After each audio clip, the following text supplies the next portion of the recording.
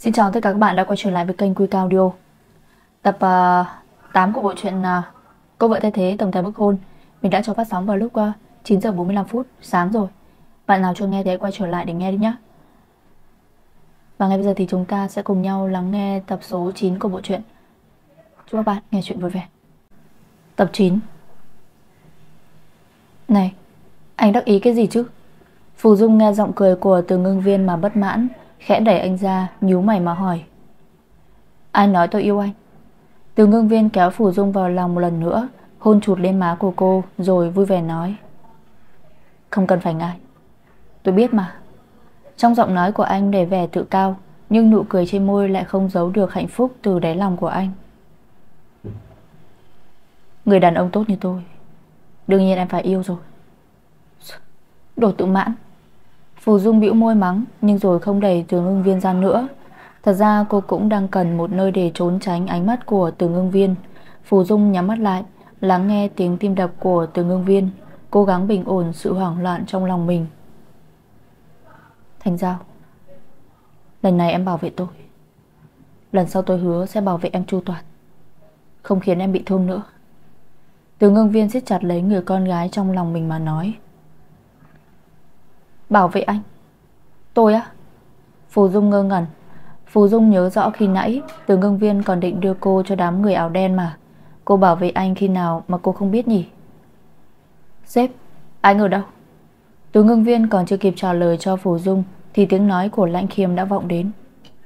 Ở đây. Từ ngưng viên vội vàng hét lớn. Anh đỡ Phù Dung đứng dậy, Rồi chập chững bước về hướng phát ra tiếng của Lãnh Khiêm. May quá, Tìm được anh rồi. Tôi còn sợ bọn nó tìm ra anh trước khi tôi đến. Lãnh khiêm chạy nhanh đến trước mặt từ ngưng viên, Chống tay trên gối mà thờ hồng hộc. Trên tay lãnh khiêm vẫn đang cầm chặt khẩu súng, Mùi thuốc súng còn vương vấn.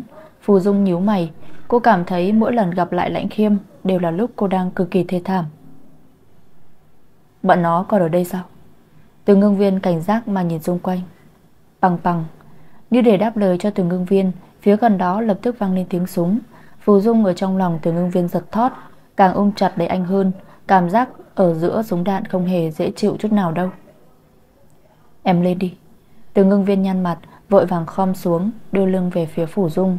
Cô ngạc nhiên, Trần trừ vì thái độ quá ân cần này của từ ngưng viên. Thế nhưng từ ngưng viên đã nhanh chóng quyết định thấy cô. Anh cõng Phủ Dung trên lưng rồi bước đi. Từ ngưng viên đi mấy bước, nhíu mày quay lại nhìn lãnh khiêm Đang đứng chờ ra đó mà hỏi. Còn không đi mau? Vâng ạ. Lãnh khiêm như hoàn hồn lại, Anh vội vàng đi nhanh phía trước để dẫn đường. Đám thuộc hạ của từ ngưng viên đều đã mở đường sẵn. Ba người thuận lợi đi theo con đường mòn, Tiến đến chiếc xe đậu ven quốc lộ. Sếp, Đám người này xử lý thế nào? Trước khi rời đi, Lãnh khiêm cúi đầu xin ý kiến của từ ngưng viên. Xử lý. Từ ngưng viên lạnh lùng thốt ra, Ánh mắt híp lại, Sau đó đóng mạnh cửa xe. Chiếc xe lao đi nhanh đến bệnh viện gần nhất khi nãy bọn chúng chẳng phải nói mạng anh và mạng chúng khác nhau sao? Được thôi. Vậy thì anh sống Bọn chúng nhất định phải chết. Hơn nữa tưởng ngưng viên cũng sẽ không bao giờ tha thứ Cho kẻ làm hại đến người anh xem trọng. Bọn chúng làm Phù Dung bị thương Chắc chắn không thể sống được. Phù Dung được tưởng ngưng viên đưa đến bệnh viện Thì chính thức ngất đi. Cả cơ thể của cô đều kiệt quệ Suốt cả đường đi là từ ngưng viên không ngừng kiếm cách trêu chọc mới khiến cô thanh tỉnh nổi.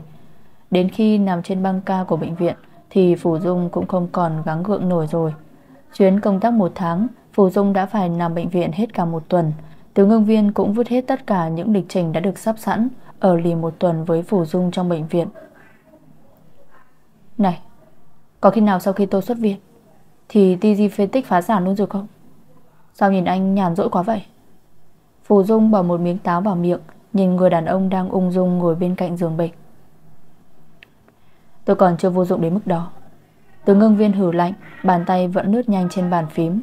Phù dung thè lưỡi, Khẽ nhại lại câu nói của từ ngưng viên ở trong lòng, Sau đó chán nản mà nằm dài ra giường.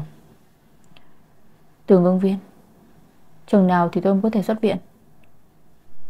Sao thế? Từ ngưng viên dừng tay, Ngước lên nhìn Phù Dung. Ở đây chán quá. Phù Dung yêu xìu nói, Gương mặt đầy tủi thân Lúc đầu Phù Dung nghe thấy việc đi công tác Hàn Quốc một tháng thì rất bực mình.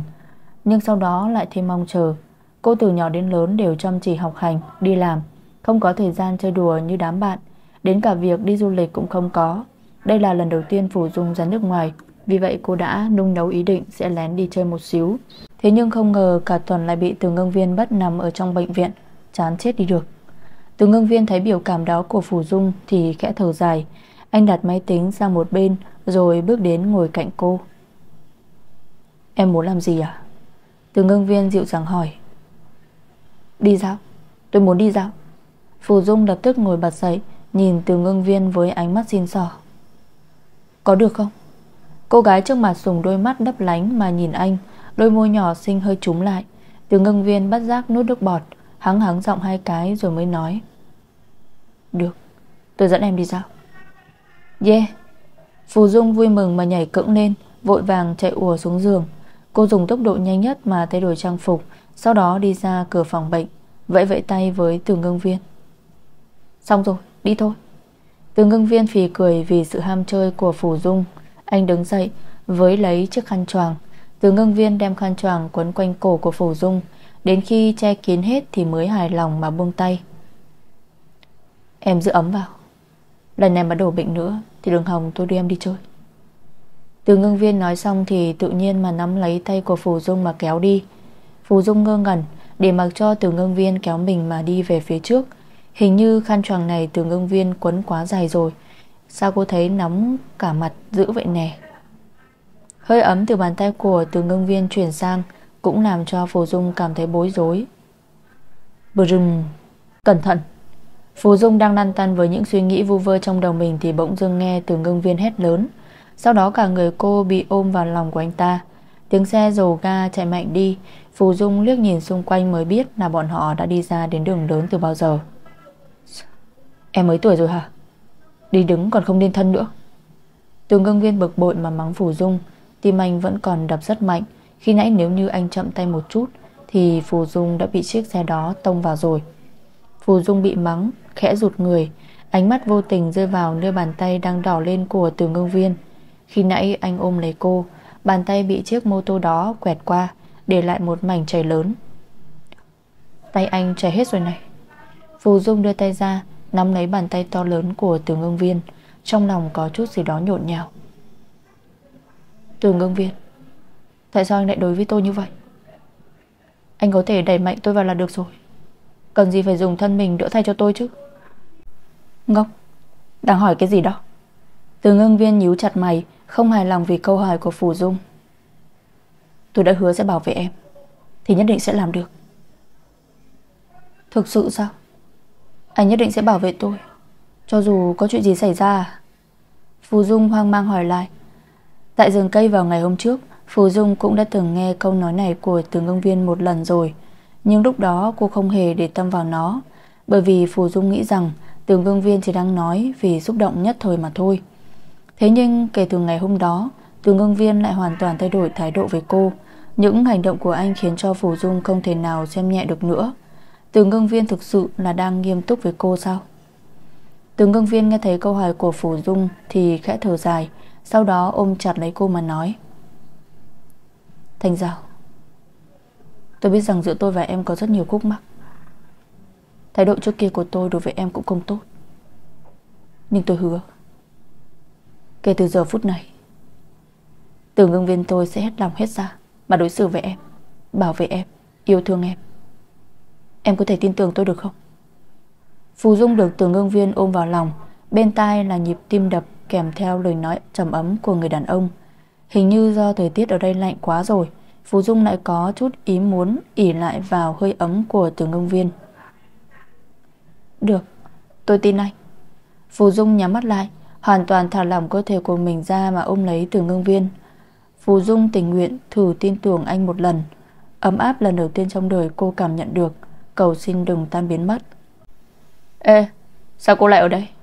Các người Các người đang làm cái gì vậy hả? Đang lúc Phù Dung và Từ Ngưng Viên đang ngọt ngào hạnh phúc, Thì bỗng dưng vang lên một tiếng hét chói tai của người đàn ông. Phù Dung nhíu mày Giọng nói này sao quen quá vậy? Cô mở mắt ra nhấc đầu ra khỏi ngực của Từ Ngưng Viên mà quan sát. Sau khi nhìn rõ được người vừa hét là ai Thì Phù Dung mở to mắt Cực kỳ bất ngờ mà hỏi lại. Sao anh lại xuất hiện ở đây? Người đàn ông trong bộ đồ màu đen năng động Tóc vuốt keo, mắt đào hoa Gương mặt yêu nghiệt này chẳng phải là thằng cha biến thái Mạc Tử Thâm sao? Tôi hỏi cô trước Cô trả lời đi. Sao cô lại ở tại đây chứ? Mạc Tử Thâm thấy người trước mặt đúng là Phù Dung rồi Thì hỏi dồn dập. À, Tôi đang đi công tác. Phù Dung buông từ ngưng viên ra Cười lấy lệ mà trả lời. Công tác? Gương mặt của Mạc Tử Thâm ngơ ra. Bây giờ làm ô xin cũng được đi công tác à? Mạc Tử Thâm cảm thấy rất khó hiểu. Hôm trước không phải cô nàng này còn bảo với anh là Mình rất nghèo sao? Còn làm ô xin ở nhà của từ ngưng viên nữa. Giờ thì đã thấy cô nàng vi vu tận Hàn Quốc rồi. Phú Dung nghe câu hỏi của Mạc Tử Thâm Thì ôm bụng cười lớn. Còn gương mặt của từ ngưng viên thì lại đen đi. Cô nàng này đi rêu rao khắp nơi Là làm ô xin cho anh á. Từ ngưng viên kéo lấy Phù Dung lại, Khoác vai cô rồi hất mặt đầy thách thức Về phía Mạc Tử Thâm mà nói. Cô ấy là Tôi là trợ lý của Từ Tổng Phù Dung vội vàng chân miệng nói trước. Cô không muốn từ ngưng viên nói với Mạc Tử Thâm, Cô là vợ của anh ta đâu. Như thế thì có chút phiền phức. Tạm thời, cái vị trí vợ của từ ngưng viên này, Danh phận nhạc tiểu thư này, Đối với Phù Dung vẫn còn rắc rối lắm. Phù Dung cảm thấy càng ít người biết về việc này thì càng tốt. Trợ lý. Hai người đàn ông cùng nhau đồng thanh hỏi, Sau đó lại quay mặt lại nhìn nhau mà trừng mắt, Không ai chịu nhường ai. Thời tiết ở đây đã lạnh rồi, Phù Dung đứng gần hai vị tổng tài này Càng cảm thấy lạnh hơn. Cô dùng mình một cái rồi nhìn về phía Mạc Tử Thâm Vội vàng nói để kết thúc câu chuyện. À, Tử Thâm Nếu như không còn chuyện gì khác nữa Thì bọn tôi đi trước nhé Bye bye. Phù Dung nói xong thì nắm lấy tay của từ ngưng viên muốn rời đi. Đứng lại. Giọng nói trầm thấp của Mạc Tử Thâm vang lên sau lưng Phủ Dung. Tôi có chuyện muốn nói với cô. Từ ngưng viên từ nãy giờ vẫn không nhúc nhích. Anh bước lên một bước Tới gần Mạc Tử Thâm hơn Mà lạnh lùng nói. Anh có chuyện gì muốn nói với cô ấy? Thì cứ trực tiếp nói với tôi là được. Ánh mắt từ ngưng viên đầy vẻ cảnh cáo, Phù Dung dường như có thể nhìn thấy cả dòng chữ. Chó giữ cấm chọc Được dán trên người của anh ta luôn vậy. Thế nhưng tên Mạc Tử Thâm vẫn không thèm quan tâm đến thái độ đó của từ ngưng viên. Anh ta nhích sang một bên, Nhìn vào Phù Dung mà nói tiếp. Dù gì tôi cũng là ân nhân cứu mạng của cô. Nói chuyện với nhau mấy câu Thì cũng không có gì là quá đáng chứ. Phù Dung cảm thấy nhức đầu Người này lại muốn gây thêm phiền phức gì cho cô nữa đây trời. Nhưng mà anh ta nói cũng không hẳn không đúng. Tính ra Mạc Tiểu Thâm cũng đã từng giúp đỡ cô. Nếu cứ thế mà đi luôn thì đúng thật là không tốt lắm. Phù Dung thở dài một hơi, Sau đó bước lên nắm lấy tay của từ ngưng viên, Làm ra bộ mặt xin sò mà nói khẽ. Ngưng viên, Tôi nói chuyện với tên này một lát, Rồi chúng ta đi dạo tiếp nhé. Từ ngưng viên nhăn mặt, Định nói không được, Nhưng khi nhìn thấy ánh mắt van nài của Phù Dung thì lại không nỡ từ chối yêu cầu của cô Anh chỉ có thể hừ lạnh Không nói tiếng nào mà bước đi thêm hai bước Rồi đứng lại chờ Phù Dung Phù Dung nhìn thấy hành động của từ ngưng viên thì khẽ mừng thầm. Cô nhanh chóng chạy lại đến chỗ của Mạc Tử Thâm mà hỏi vội. Này, tên biến thái, có gì muốn nói thì nói lẹ lên. Phù Dung biết sự kiên nhẫn của từ ngưng viên có giới hạn.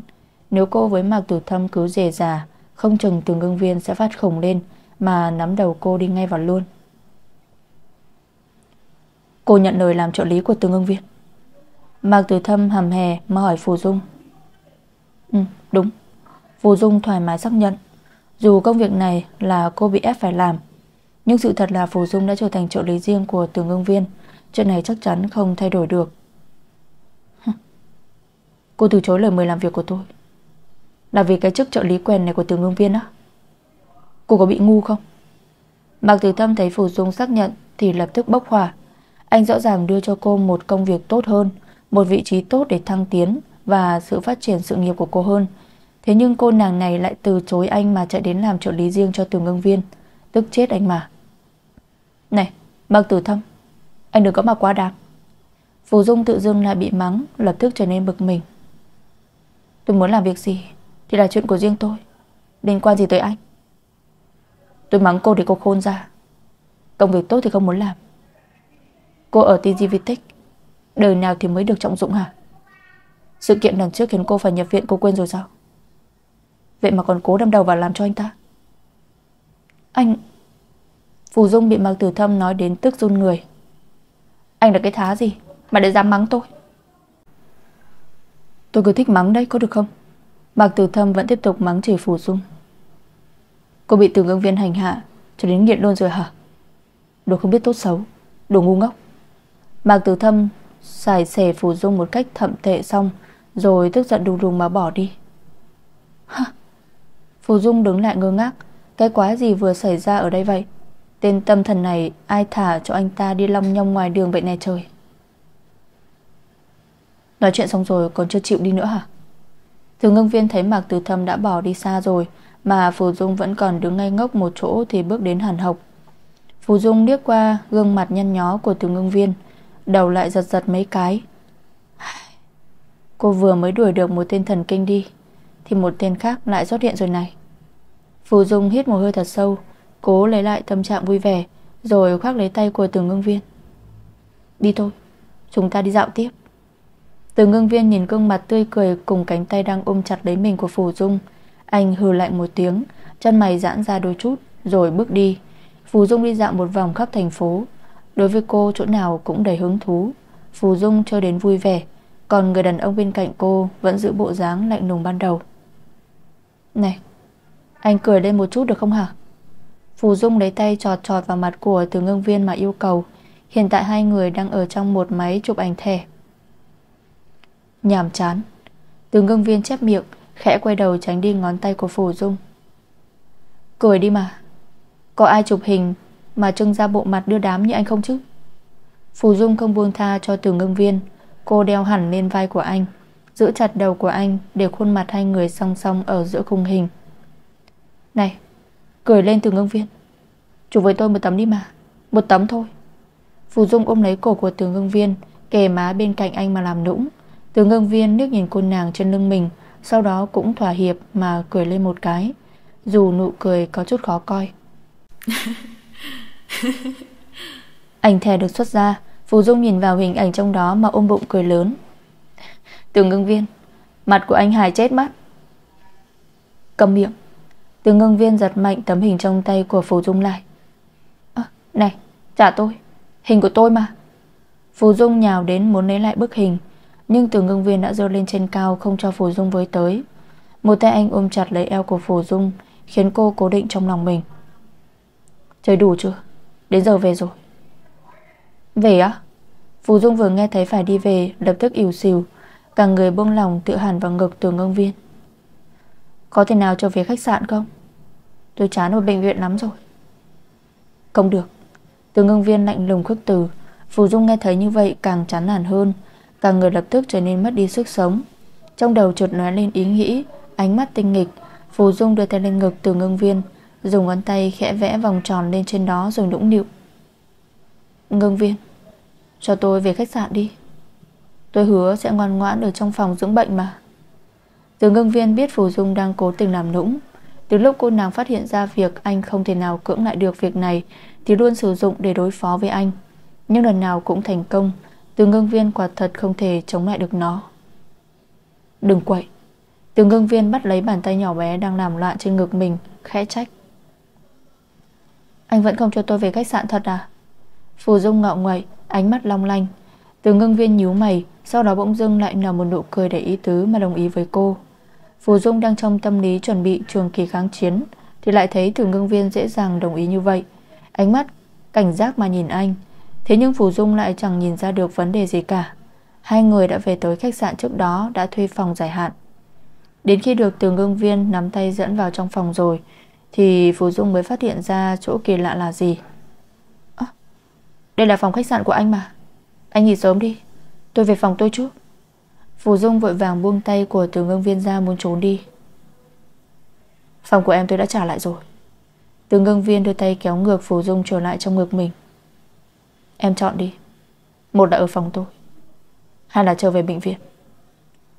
Phù Dung nhìn nụ cười gian xào của người đàn ông trước mặt Mà gương mặt trở nên đen thui. Từ ngưng viên cố tình, Anh ta chắc chắn cố tình gài bẫy cô. Tối đó Phù Dung bị từ ngưng viên ăn sạch sẽ. Dù cô có cầu xin mấy lần, Người đàn ông này đều phớt lờ không nghe thấy. Phù Dung tức giận mà cắn mạnh lên vai của từng Ngưng viên. Từng ngưng viên bị cắn đột ngột dê lên một tiếng. Sau đó, phát mạnh vào mông của Phù Dung mà mắng. Em là chó con à? Sao lại thích cắn người thế này? Cắn anh, Cắn chết anh. Phù Dung vẫn hầm hè, Gặm nhấm trên vai của từ ngưng viên để chút giận. Phù Dung cắn từ ngưng viên. Từ ngưng viên cũng trả đũa lại Bằng những cơn thúc mạnh. Cơ thể người con gái trong lòng anh lập tức run lên. Anh còn muốn làm mấy lần nữa vậy hả? Tôi mệt chết rồi đây này. Từ ngưng viên chạy nước rút trên người Phù Dung, Nói trong tiếng thở nặng nề. Lần cuối. Có quỷ mới tin anh. Phù Dung rùa thầm một tiếng trong bụng, Cả người đều ướt đẫm mồ hôi. Cô vắt tay lên vai của từ ngưng viên, Mệt mỏi mà giao cả thân thể cho anh muốn làm gì thì làm. Từ ngưng viên nói với cô câu lần cuối này cũng được mấy lần rồi đó. Có lần nào anh ta thực sự kết thúc không? Hay chỉ là nghỉ giải lao giữa hiệp? Từ ngưng viên rên lên một tiếng Rồi đổ ập lên thân hình người con gái. Phù Dung lúc này đã mơ mơ màng màng đi vào giấc ngủ. Thế nhưng người đàn ông vừa mới được thỏa mãn dục vọng nào đó, Lại bừng bừng khí thế mà muốn tâm sự với cô. Thanh Giao. Tường ưng viên nằm sang một bên, Ôm lấy người con gái vào lòng mà khẽ nỉ non. Em là người đầu tiên anh yêu. Ừ. Phù Dung đang buồn ngủ, Chỉ thở ơ đáp cho có. Thế nhưng sau khi nghe rõ câu nói của tường ưng viên Thì lập tức bất ngờ. Hả? Cuộc sống trước kia của anh rất nhàm chán. Chưa có kinh doanh Làm việc, viết cốt Cả ngày lẫn đêm chỉ quanh quẩn nhiều đó công việc. Giọng nói đều đều của tường ngưng viên vang lên bên tai của Phủ Dung. Cô không ngờ tường ngưng viên cũng có lúc nói nhiều như vậy. Bình thường có cạnh miệng anh ta Cũng chưa chắc nói được mấy câu đàng hoàng. Đúng là đàn ông một khi lên giường, Liền thay đổi thành người khác mà. Thế nhưng qua những câu nói vụn vặt của từ ngưng viên, Phù Dung càng hiểu rõ thêm về người đàn ông này. Tính ra từ ngưng viên cũng là một người cô độc, giống như cô. Thanh Giao Em từng có người quan trọng nhất chưa? Phù Dung đang lặng lặng lắng nghe, Thì bỗng dưng từ ngưng viên lại đặt câu hỏi ngược cho cô. Người quan trọng nhất ư? Đúng vậy. Người mà cả đời em muốn bảo vệ, Muốn yêu thương. Từ ngưng viên nhắc lại, Ánh mắt anh nhìn chằm chằm vào cô, Bên trong như chất chứa điều gì đó. Ánh mắt của từ ngưng viên quá phức tạp, Phù Dung không hiểu kịp, Nhưng nếu nói đến người quan trọng Thì cô đã có đáp án rồi. Anh có người quan trọng rồi à? Phù Dung không ngay lập tức trả lời lại câu hỏi của từ ngưng viên. Ừ. Từng có. Nhưng lại mất rồi. Giọng nói của tường ngưng viên chứa nỗi buồn. Tim của Phù Dung hững đi một nhịp.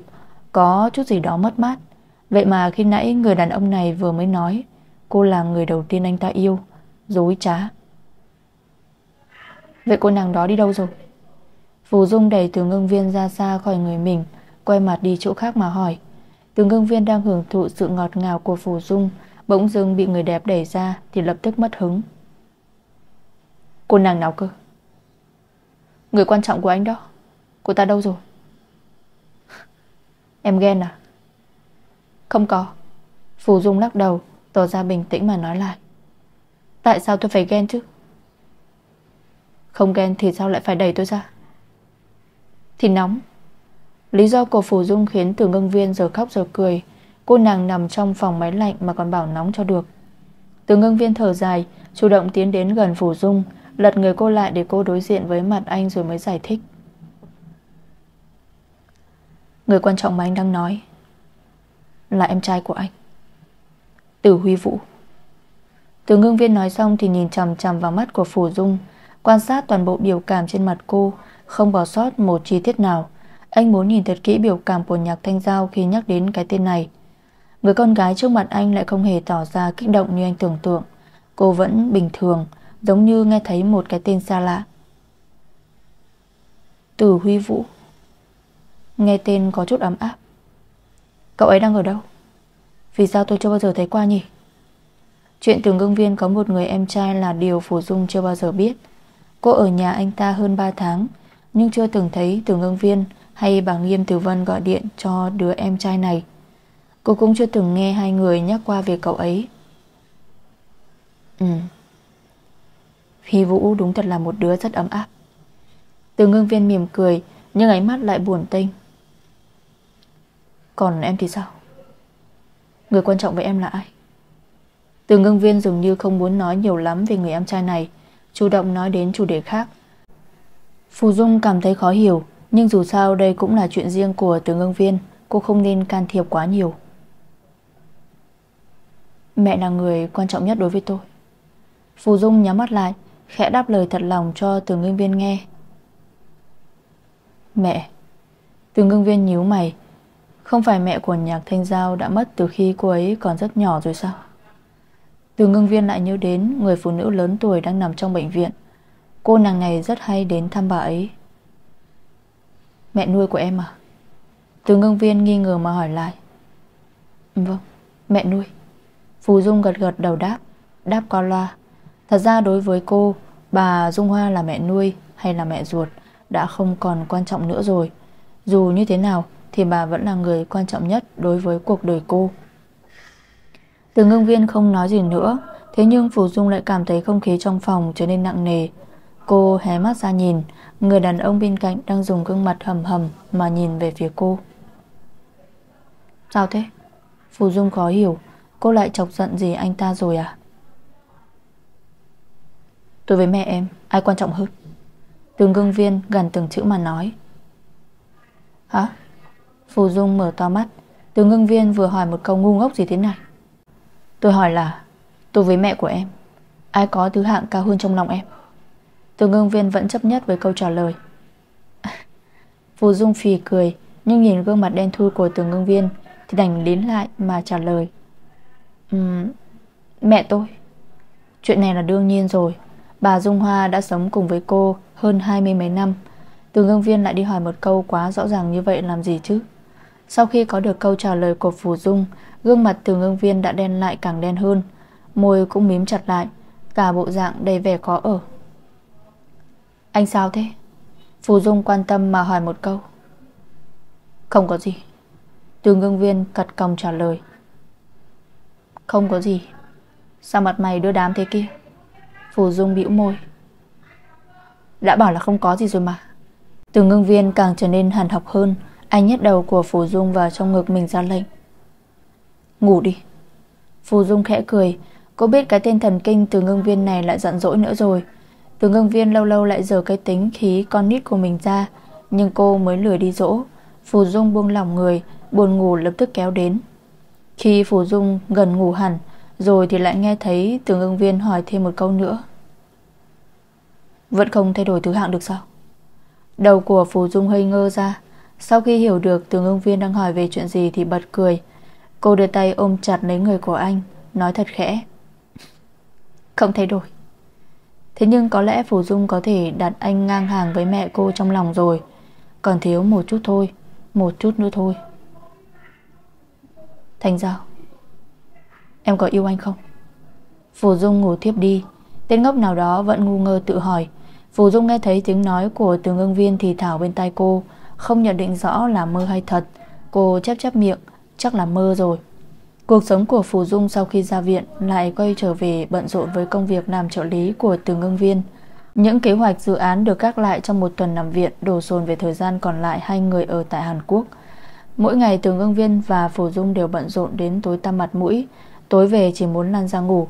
Thế nhưng đêm nào Phù Dung cũng không được ngủ yên giấc. Phù Dung tự hỏi không biết Tùng ngưng viên có thể lấy đâu ra nhiều sức lực như vậy.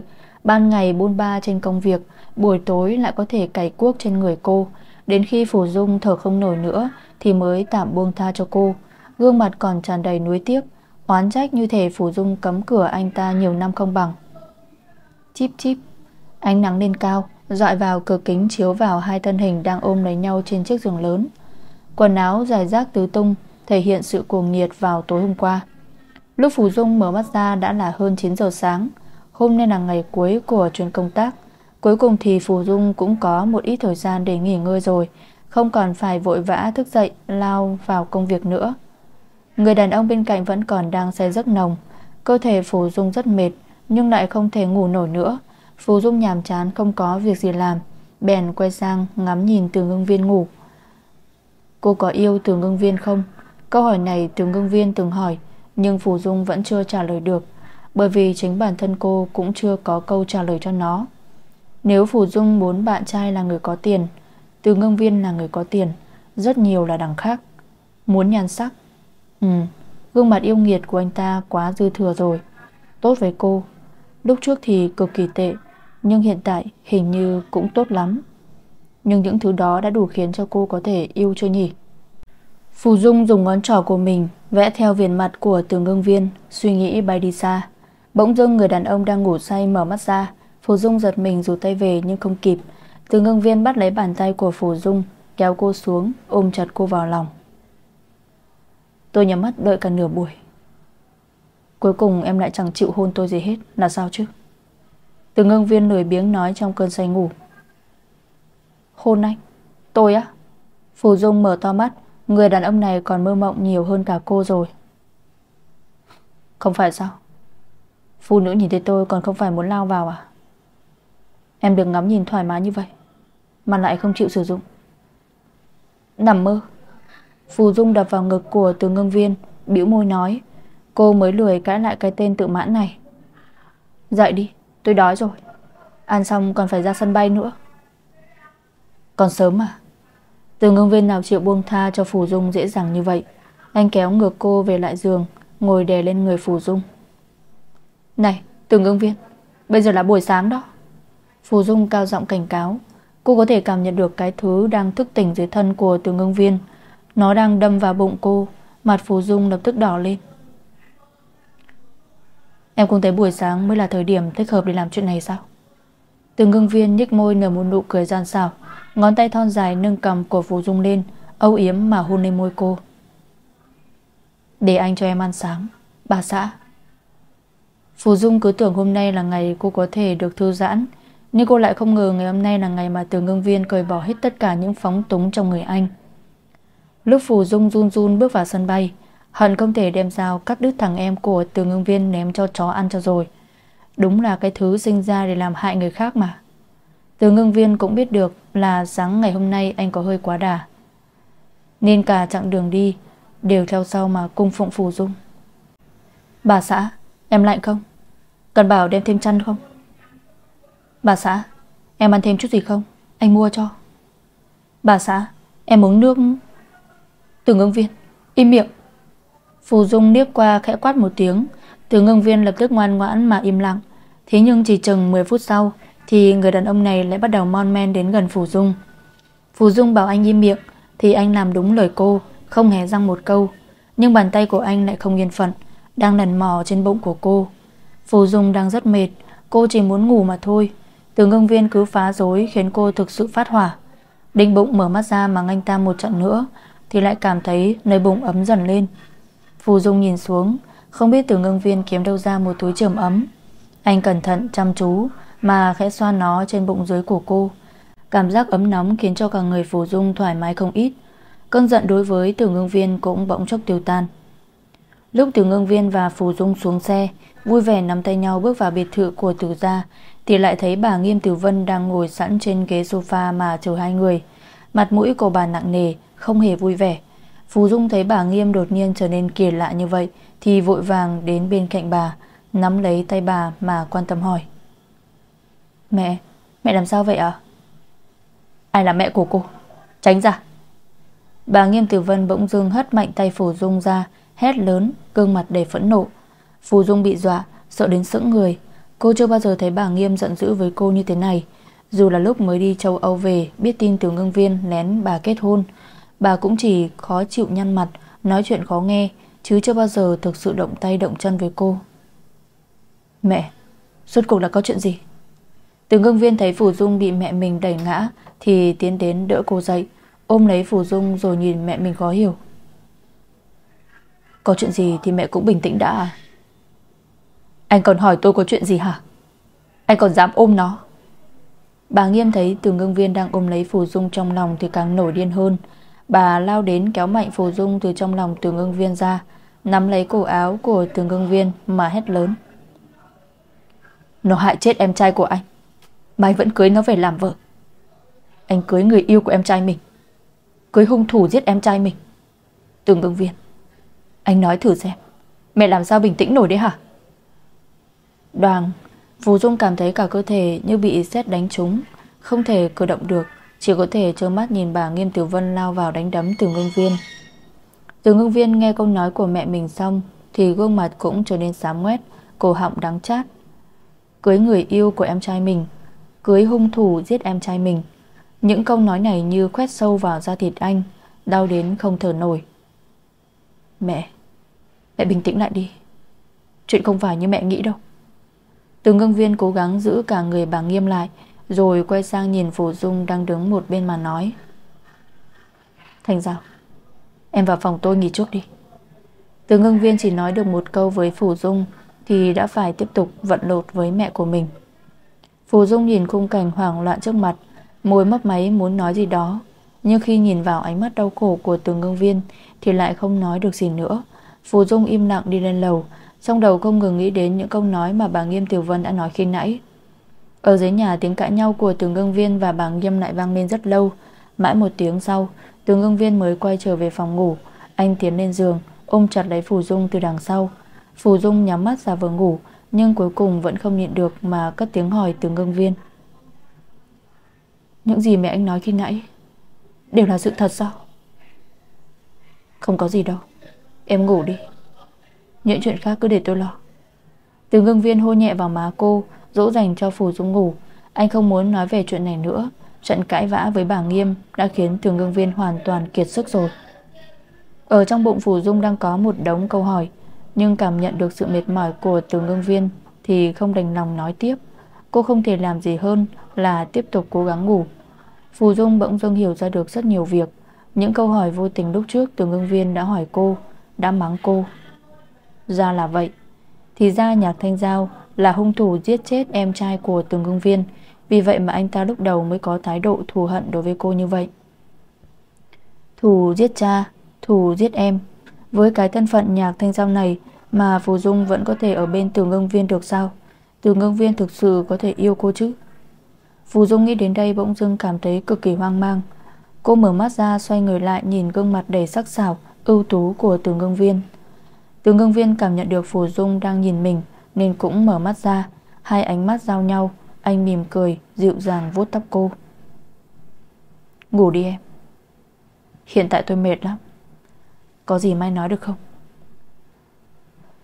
Từ ngưng viên. Anh có thực sự yêu tôi không? Phù Dung run rẩy hỏi. Hiện tại Phù Dung rất hoang mang. Cô cảm thấy hoang mang với bản thân mình và cả tình yêu của từng ông viên dành cho cô. Nếu như mọi chuyện đều là dối trá, Phù Dung có thể chịu đựng nổi chứ? Sao em lại hỏi như vậy? Từng công viên nhíu mày, rất không hài lòng vì câu hỏi của người con gái trong lòng anh. Tôi... Phù Dung thấy ánh mắt giận dữ của từ ngưng viên thì trở nên ấp úng Sau đó cô cắn răng Cố gắng nói ra những suy nghĩ trong lòng mình Từ ngưng viên nếu anh không thực sự yêu tôi Thì cứ nói thẳng ra được không Tình cảm không phải là công cụ để dùng để trả thù đâu. Từ ngưng viên thấy Vũ Dung trở nên hoảng sợ như vậy Thì khẽ thở dài. Anh đưa tay ôm chặt cô vào lòng. Anh tưởng qua đợt công tác vừa rồi, Cô đã hiểu rõ được tình cảm của anh rồi. Anh không phải là một người dễ dàng nói ra lời yêu, Càng không bao giờ phải nói dối yêu ai đó. Nhưng yêu đâu phải thứ Chỉ cần dùng lời nói chứ. Từ ngưng viên muốn dùng hành động để chứng minh cho người mà anh yêu có thể an tâm. Ngủ đi em. Từ ngưng viên không trả lời cho Phù Dung, Chỉ có vòng tay ấm áp không ngừng bao quanh lấy cơ thể cô. Phù Dung không nhận được câu trả lời từ từ ngưng viên, Trong lòng hụt hẫng, Buồn bã nhắm mắt, Không dám hỏi nữa. Phù Dung buồn bực với mớ suy nghĩ đáng sợ của mình Trần chọc mãi đến khi Lim Dim ngủ, Thì nghe giọng nói của tưởng ngưng viên Bên tai thật khẽ. Anh yêu em.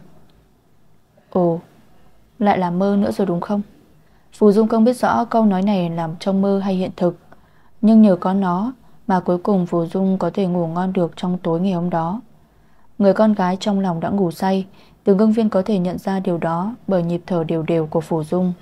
Anh mở mắt ra, Đã là 3 giờ sáng. Trong mắt của từ ngưng viên tràn đầy tơ máu, Cơ thể mệt mỏi nhưng không thể nào ngủ được.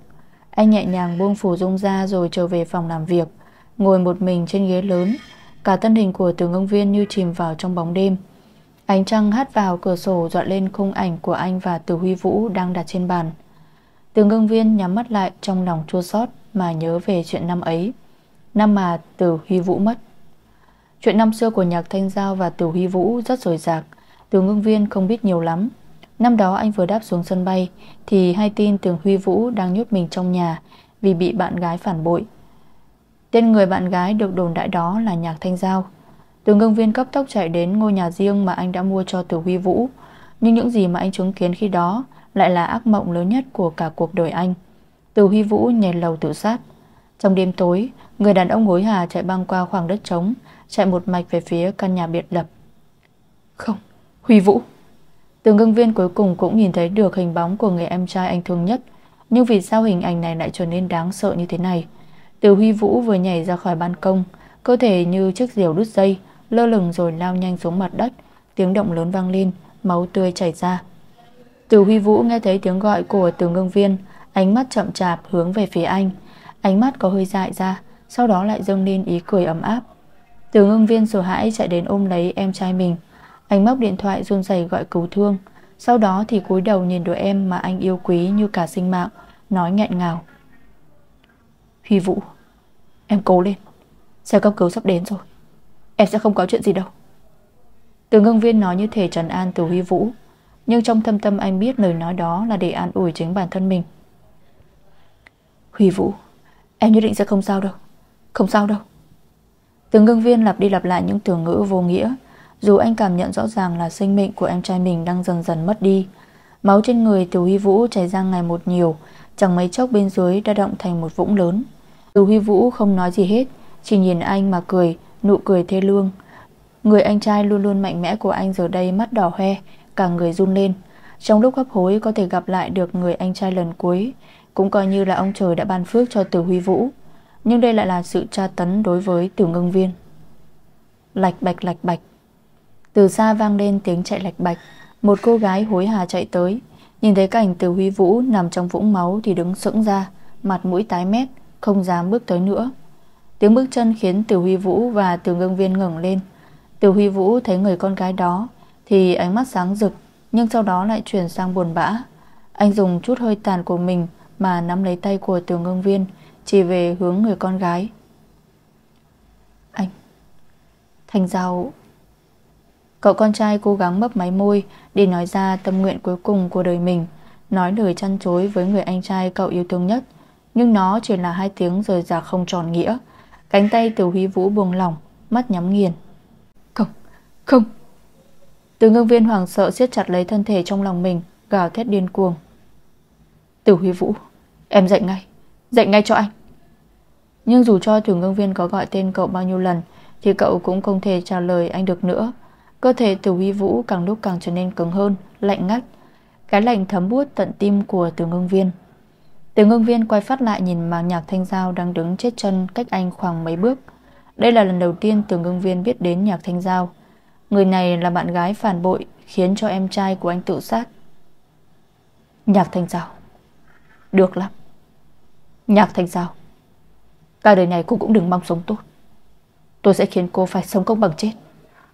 Từ ngưng viên phẫn nộ mà hướng nhạc thanh giao mà gào lớn, mắt anh ta đỏ ngầu, Nhạc thanh giao nghe thấy tiếng hét như nguyền rùa của tường ngưng viên, Sợ hãi mà quay lưng bỏ chạy, Nước mắt trên mặt bắt đầu chảy ra. Tại sao mọi chuyện lại trở thành như thế này chứ? Vì sao từ huy vũ Cũng bỏ rơi cô mà đi rồi? Nhạc thanh giao sợ hãi, Đau đớn lẫn bi phẫn. Nhạc thanh giao chạy đi, Khung cảnh còn lại càng trở nên tiêu điều hơn. Gió đêm thổi qua lạnh đến tê dại. Từ ngưng viên vẫn ôm chặt lấy tử huy vũ trong người, Không chịu buông ra anh muốn dùng cơ thể mình sưởi ấm cho cậu em trai ngốc nghếch này.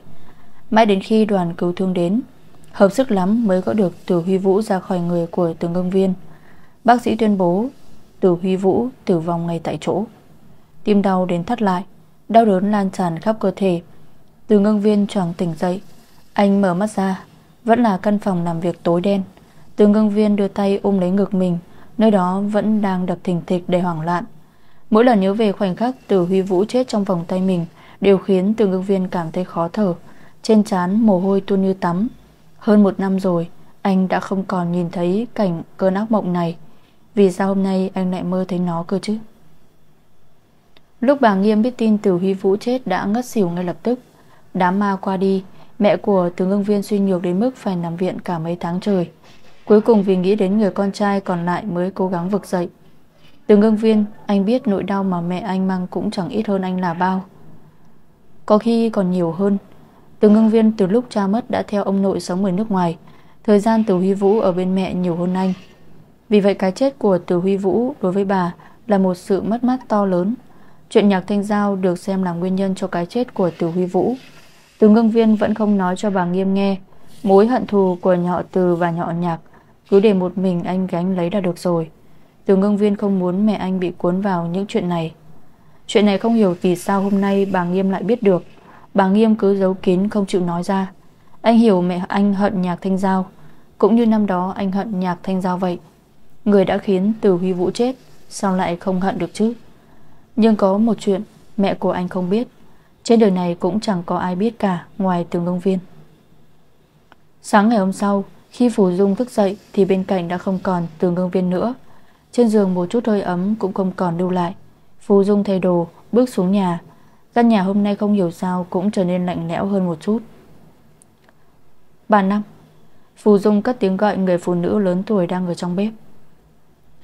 Thành Giao, Cháu dậy rồi à? Bà Năm quay lại thấy Phù Dung thì vui vẻ nói. Đúng lúc sắp có ăn rồi này. Cháu mau đi gọi cậu chủ và bà chủ đi. Dạ vâng ạ. Phù Dung ngoan ngoãn cúi đầu sau đó đến trước cửa phòng làm việc của từ ngưng viên mà gọi anh. Ngưng viên Bản Nam bảo gian sáng ạ. Trong phòng im lặng, Không có tiếng phản hồi, Phù Dung gọi thêm mấy tiếng nữa đều không có người đáp. Cô thấy lạ liền thử đẩy cửa đi vào. Cửa phòng làm việc của từ ngưng viên, Thế nhưng lại không khóa. Việc này đủ hiểu tâm trạng của anh đang bất ổn đến mức nào. Phù Dung đi vào liền thấy người đàn ông đang ngồi trên ghế nhắm mắt, Gương mặt đầy tiểu tụy, Dường như từ ngưng viên cả đêm không ngủ. Giờ thì mệt quá, mới thiếp đi một lát. Phù Dung thấy vậy liền không làm phiền từ ngưng viên. Cô lặng lặng lùi ra ngoài. Phù Dung muốn để cho từ ngưng viên ngủ thêm một lát. Cô suy nghĩ một chút, Lại đi đến trước cửa phòng của bà Nghiêm Tử Vân. Cốc cốc cốc. Chuyện gì? Giọng nói không mấy vui vẻ của bà Nghiêm Tử Vân vang lên. Mẹ, Con mời mẹ gian cơm sáng ạ à? phù Dung cố gắng nói một cách nhỏ nhẹ nhất để lấy lòng bà. Cút đi. Tôi không muốn ăn cơm với cái hạng người như cô. Tiếng hét trong phòng phát ra, Mặt của Phù Dung tái đi một chút. Cô chỉ biết thở dài, Sau đó lại quay trở về phòng bếp. Phù Dung nhờ bà Năm chuẩn bị một phần ăn sáng, Rồi đem trở ngược lại phòng của bà Nghiêm Tử Vân. Phù Dung đứng trước cửa, Định đưa tay lên gõ, Thì cánh cửa lại bật mở ra. Sao cô còn đứng ở đây Bà Nghiêm nhìn thấy Phù Dung vẫn đang đứng trước cửa phòng mình Thì nhăn mặt. Bàn tay đang dơ giữa không trung khiến Phù Dung ngại ngùng. Cô vội vàng rút tay về Nhìn bộ dáng cô bà Nghiêm trình tề. Còn cầm theo túi sách thì vội hỏi Mẹ Mẹ chuẩn bị ra ngoài à? Con đem đồ ăn sáng vào. Mẹ ăn chút rồi hãng đi nhá. Phú Dung nói xong thì đưa khai thức ăn ra trước mặt bà Nghiêm. Những món ăn nóng hổi, thơm ngào ngạt. Bà Nghiêm nhìn bộ dạng này của Phú Dung thì càng cảm thấy tức giận hơn. Người con gái này đã hại chết con trai bà. Vậy mà giờ đây còn dám xuất hiện trước mặt bà tươi cười vui vẻ. Mặt bà Nghiêm đanh lại Đưa tay hất ngược khay thức ăn về người của Phù Dung. Tôi đã bảo là tôi không muốn ăn. Cô biến đi. Khay đồ ăn bị hất đổ Nước canh, cơm nóng, đồ xào Mọi thứ đều văng hết lên người. Phù Dung không biết phải xử lý tình huống này thế nào. Cả người cứ đứng đơ ra đó Nghe những tiếng mắng chửi của bà Nghiêm. Mẹ Mẹ đang làm cái gì vậy hả? Tiếng hét tức giận của từ ngưng viên vang lên. Anh nghe thấy tiếng ồn ào nên mới chạy ra xem thử. Không ngờ lại thấy Phù Dung cả người dính đầy thức ăn, Còn mẹ anh thì đang đánh chửi cô. Ngưng viên, Không có gì đâu anh. Phù Dung thấy từ ngưng viên đến, Vội vàng giấu vết bỏng trên tay đi. Tôi bất cần làm đồ thức ăn Để mới khiến mẹ tức giận thôi. Phù Dung không muốn giữa Tường Ngưng Viên và bà Nghiêm thêm căng thẳng. Nhưng câu nói dối đầy vụng về này Nào có thể che mắt được Tường Ngưng Viên. Thành Giao, Em xuống dưới nhà đi. Tường Ngưng Viên nói với Phù Dung Sau đó tiến đến kéo bà Nghiêm trở ngược vào phòng. Cánh cửa đóng lại ngăn cách Phù Dung ở bên ngoài, Nhưng cô vẫn nghe loáng thoáng những tiếng cãi nhau, Vì cô mà Tường Ngưng Viên Đã hai lần gây gổ với mẹ của anh rồi. Phù Dung tâm trạng nặng chịu lẳng lặng đem bàn tay bị phòng của mình đi rửa nước. Từ ngưng viên đi vào bếp, Bà bà Năm đem đồ ăn sáng vào cho bà Nghiêm. Phù Dung cũng nhận ra mình gặp mặt bà Nghiêm Tử Vân càng khiến bà thêm tức giận, Nên cũng không dành mang vào nữa. Bữa ăn sáng nặng nề cuối cùng cũng trôi qua. Từ ngân viên lại bị công việc bám lấy. Phù Dung cùng theo từ ngân viên lên xe để đến TGVTech Ngân viên. Hôm nay tôi xin phép nghỉ một hôm nhé. Xe chạy đi được một đoạn. Phù Dung ngập ngừng đôi chút, Rồi nói ra yêu cầu của mình. Sao vậy? Từ ngưng viên vẫn nhìn về phía trước, Tập trung lái xe. Tôi muốn vào bệnh viện thăm mẹ một chút. Cả tháng nay ở nước ngoài rồi. Phù Dung cúi đầu nói nhỏ. Từ ngưng viên, đức nhìn sang cô gái nhỏ ngồi bên cạnh mình, Nhưng anh lại không nói gì hết. Chiếc xe vẫn chạy nhanh trên đường. Phù Dung thấy từ ngưng viên không đáp ứng lời mình Thì có chút bức bối. Cô quay đầu qua cửa sổ để nhìn ngắm cho khuây khỏa. Nhưng rồi Phù Dung lại ngạc nhiên nhận ra Đây đâu phải con đường đi đến công ty. Anh đang đi đâu vậy? Phù Dung bất ngờ nhìn từ ngưng viên mà hỏi. Miệng của từ ngưng viên khẽ nhích lên, Cơ mặt cũng giãn ra đôi chút. Không phải em nói muốn vào bệnh viện thăm mẹ sao? Anh đưa em đi. Từ ngưng viên ung dung nói. Nhưng Không có nhưng nhị gì hết. Chúng ta chính thức ở bên nhau như vậy rồi. Anh cũng nên đến ra mắt bác gái đàng hoàng đúng không? Từ ngưng viên khẽ nháy mắt với Phù Dung. Phù Dung nhìn điệu bộ cười đùa của từ ngưng viên. Tim đập loạn lên, Mặt nóng rực. Sao cô lại cảm thấy như thực sự đem người yêu đi ra mắt mẹ vậy này trời? Cảm ơn anh. Phù Dung cúi đầu, Môi cười vui vẻ. Cô rất biết ơn vì Tường ngưng viên đã có thể chủ động quan tâm đến cảm xúc của cô như vậy. Những chuyện xảy ra tối hôm qua đến giờ khiến cả đầu óc của Phù Dung đều trở nên căng thẳng. Bây giờ thì cuối cùng cũng có thể thả lỏng được một chút rồi. Ngốc, Cảm ơn gì chứ? Từ ngưng viên thấy Phù Dung vui vẻ thì tâm trạng cũng vui theo. Anh biết cô nhóc này đang nghĩ đến chuyện gì. Thanh Giao, Em cứ tin tưởng anh là được.